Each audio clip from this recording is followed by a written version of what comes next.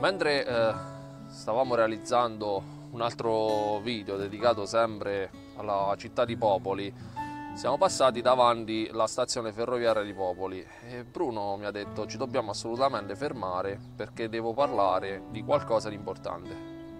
Allora signori, come vedete ci troviamo dentro la stazione ferroviaria di Popoli e voglio fare un po' di storia della ferrovia e anche dei treni. Allora, il primo treno è stato inventato da George Stephenson nel 1825.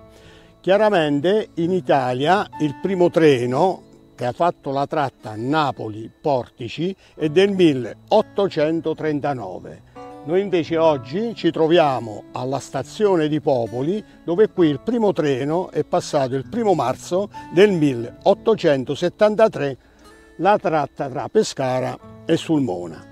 Chiaramente all'epoca eh, i treni erano a vapore.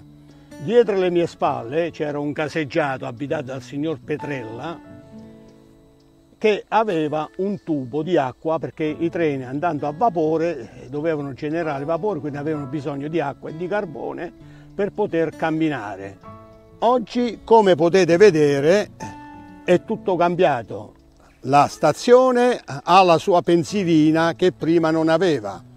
Adesso per legge è stato fatto un sottopasso che va esattamente all'altro binario il tubo che alimentava l'acqua è, è, stato tolto e quindi l'hanno adoperato per portare l'acqua al cimitero e quindi vi ribadisco ancora una volta che attualmente l'acqua che va al cimitero è un'acqua potabile.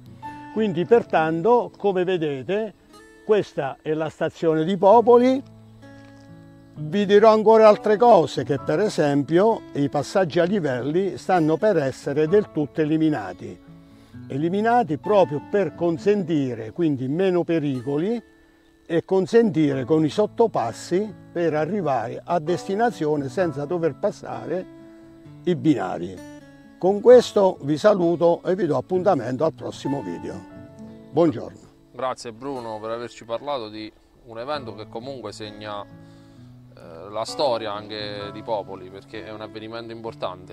Il treno è stata un'invenzione straordinaria nella storia e ha toccato anche la città di Popoli.